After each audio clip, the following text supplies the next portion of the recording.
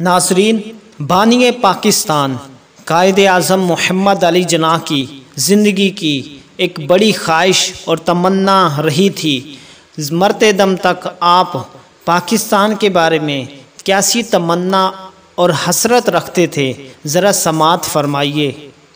आप फरमाते हैं, मेरी ज़िंदगी की वाहि तमन्ना ये है कि मुसलमानों को आज़ाद और सर बुलंद देखूँ।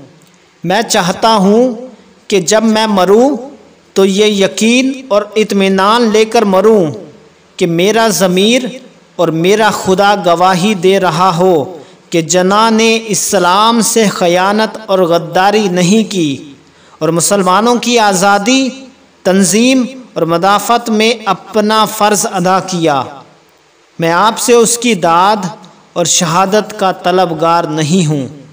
मैं ये चाहता हूँ कि मरते दम मेरा अपना दिल, मेरा अपना ईमान और मेरा अपना ज़मीर गवाही दे कि जनाह तुमने वाकई मदाफ़त इस्लाम का हक अदा कर दिया। तुम मुसलमानों की तंजीम इतिहाद और हमायत का फ़र्ज़ बजा लाए। मेरा खुदा ये कहे कि बेशक तुम मुसलमान पैदा हुए।